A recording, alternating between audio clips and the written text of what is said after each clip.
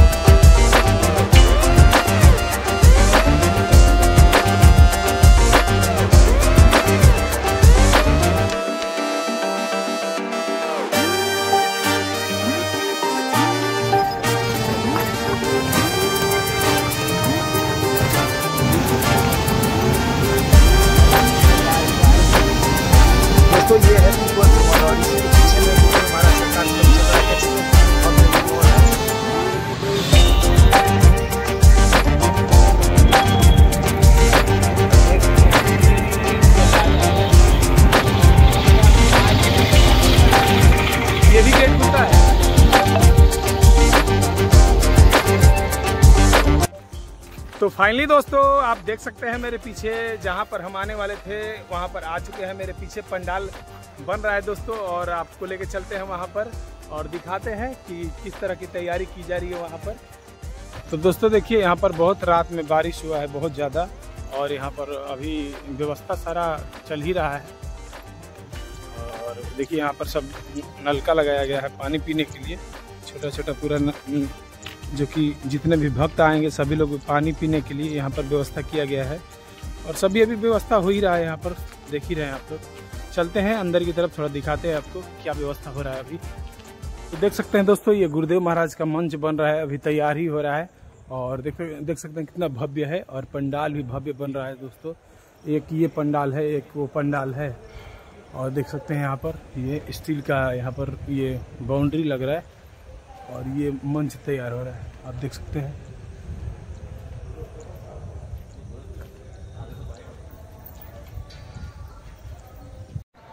तो दोस्तों, आप लोग जान ही गए कि कैसे आना है भोपाल स्टेशन से या रानी कमलापति स्टेशन से।